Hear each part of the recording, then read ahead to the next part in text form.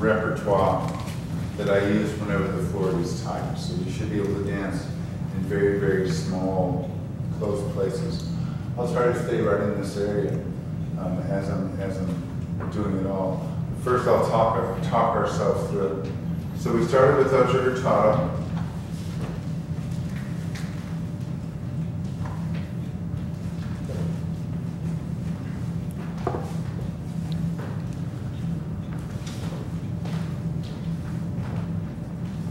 We said, well, right on that side step that she takes, right here, I can start again.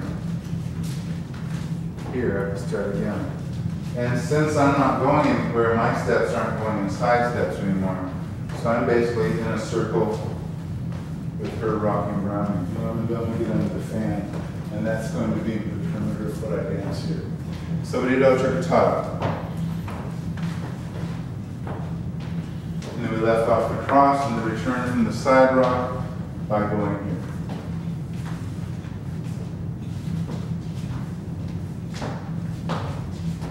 We said, okay, well, that's a left rock, but there's a left rock that goes to the left. That was a left rock starting a right turn, and then there's a left that goes over here. We said, well, while we're rocking left, there's all this torque available anyway. Why don't we just start ochos there? So we said left rock, torque, ochos. And then we walk that to a cross.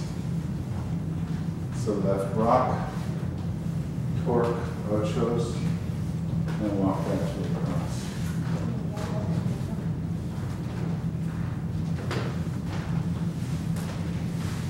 Now, if I don't, we didn't cover this, but if I don't take that forward step when I walk to the cross, we wind up with that. And that pulls me even tighter.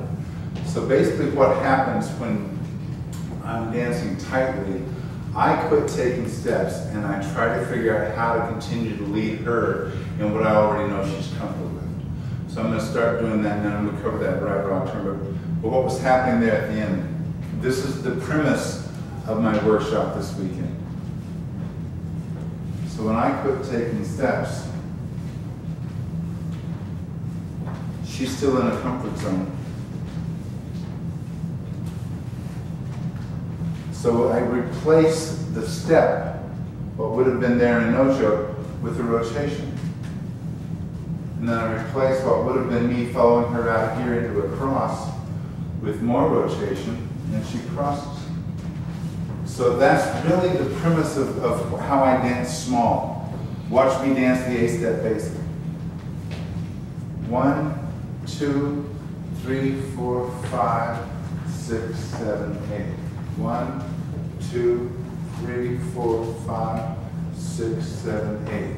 So when I put taking steps, it just she just starts going all around and around and around me, and that's how the milonguero, really in my mind, is how I learned it anyway. So then we added to that this left rock turn, where usually we go here. Said, okay, don't put that down and just create another rock. And create this rock.